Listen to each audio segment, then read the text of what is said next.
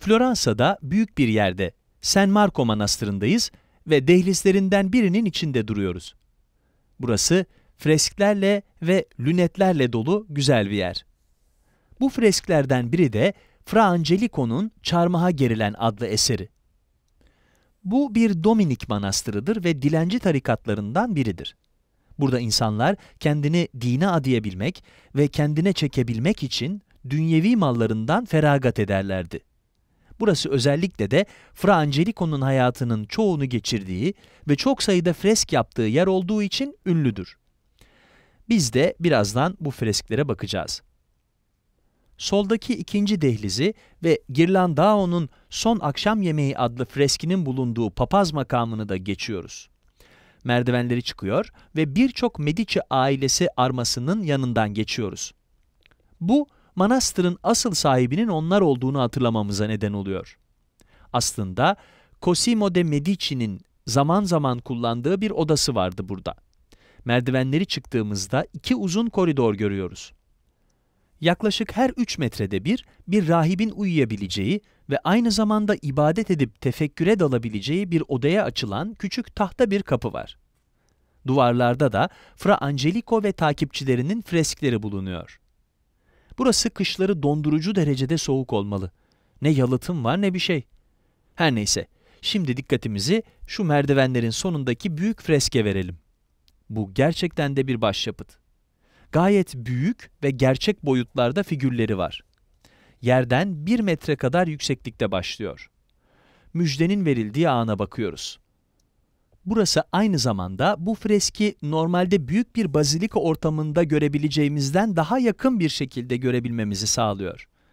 Küçük bir farkı görebilecek kadar yakınız. Bu çok güzel bir resim ama bir o kadar da boş ve bu boşluk bu manastır ortamına gayet uyuyor. Meryem Ana ve Cebrail'in bulunduğu yer az önce geçtiğimiz dehlize benziyor. Çevremizde gördüğümüz pencereler, Meryem'in arkasındaki odada bulunan pencerelerle aynı. Meryem ve Cebrail'in bulunduğu yer, rahiplerin yaşadığı yere çok benziyor. Cebrail, Meryem'e göründü ve ona Tanrı'yı doğuracağını bildirdi. Buna beşaret deniyor. İlginç olan şey de, beşareti konu alan çoğu resimde bazı simgeler göreceğinizi düşünürsünüz. Bakireliğin simgesi olan beyaz zambakları göreceğinizi mesela. Ya da dindarlığın göstergesi olarak İncil'i okuduğunu ve Cebrail'in bunu böldüğünü göreceğinizi düşünürsünüz. Bazı sanat tarihçileri bazı sembollerin resimde olmamasının sebebinin rahiplerin hikayeyi zaten çok iyi biliyor olması olabilecekleri düşüncesindeydiler. Bu, rahiplere hikayenin geri kalanını tamamlamaları için bir fırsat veriyor. Sanırım bu bir yönüyle duaya yardımcı oluyordu. Basit ve gayet boş. Sadece bu fresk değil, odadakiler de aynı şekilde. Rahiplerin kendi tasavvurlarının önüne geçmiyordu.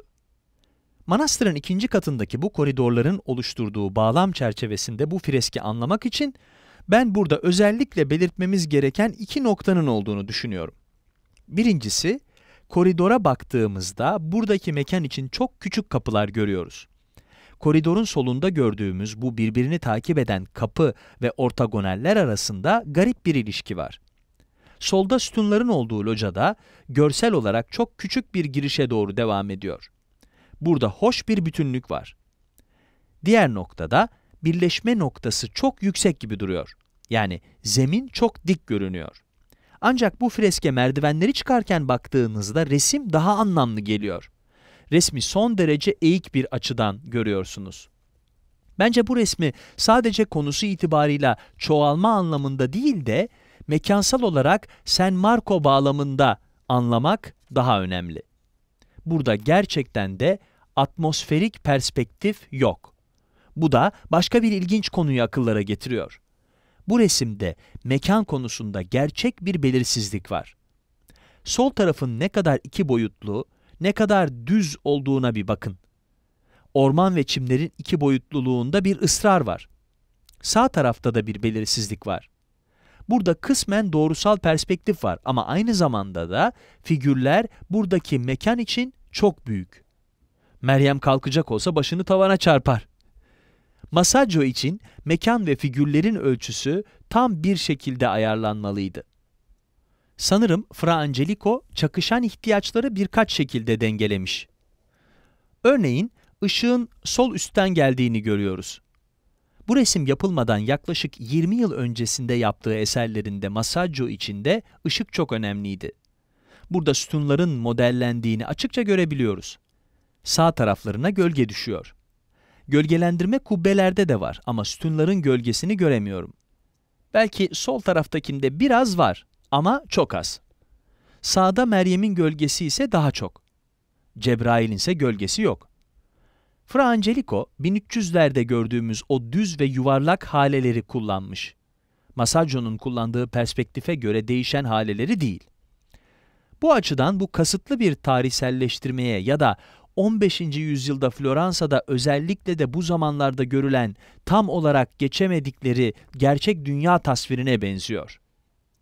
Masaccio'nun ve en gelişmiş hümanist stili dediğimiz şeyin tamamıyla farkında ama aynı zamanda bir o kadar da daha ileriye gitme konusunda isteksiz, bir bakıma muhafazakar ve geleneksel yapıyı sürdürüyor. Gördüklerimiz bunlar.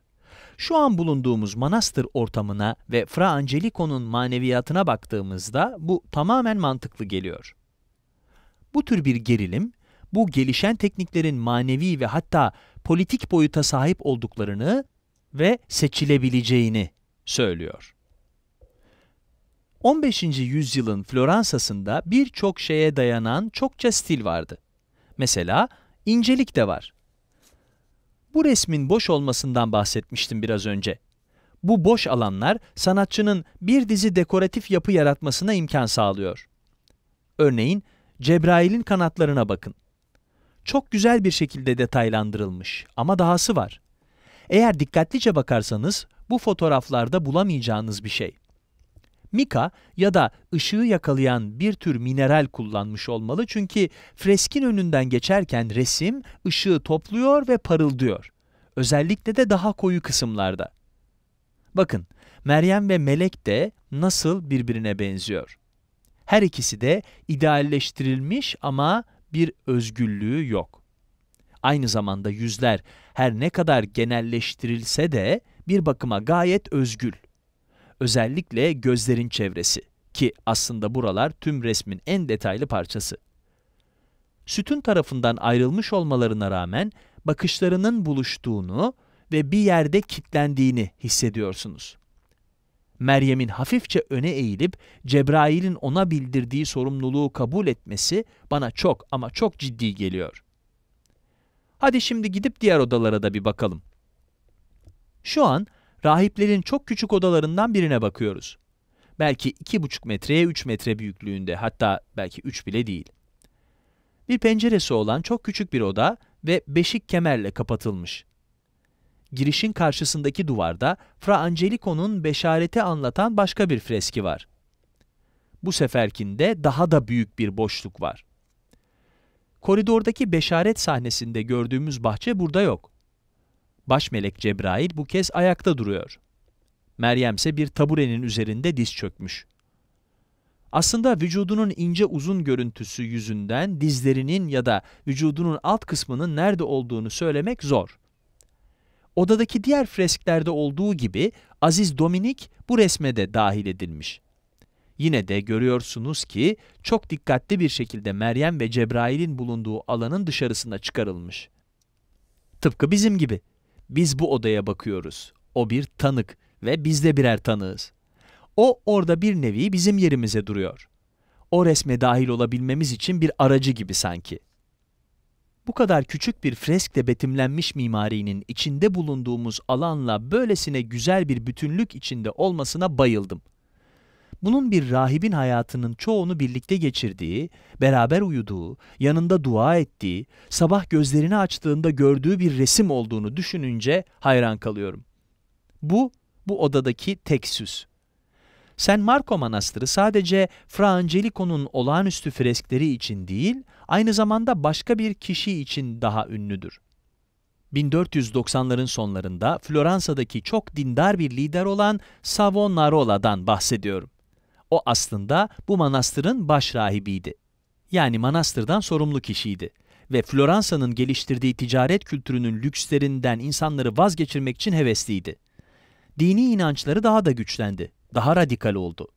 Zenginlikle ve şehrin sanatıyla giderek bir anlaşmazlık içine girdi. Medici ailesinin ve Floransa'nın hümanist kültürünü kınadı. Bu garip çünkü Medici ailesi aslında onun sponsoruydu.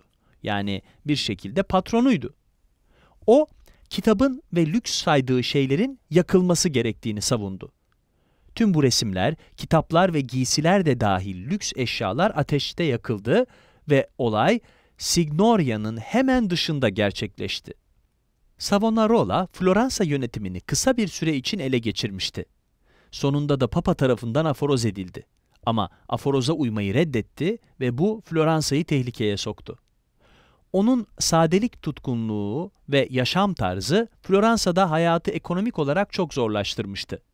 Ekonomi, ticaret ve lüks mallarının imalatı ve satımı üzerine kuruluydu. Bu anlaşmazlığın sonunda ters tepki yaratacağını tahmin edebiliyorsunuzdur. Ve öyle de oldu.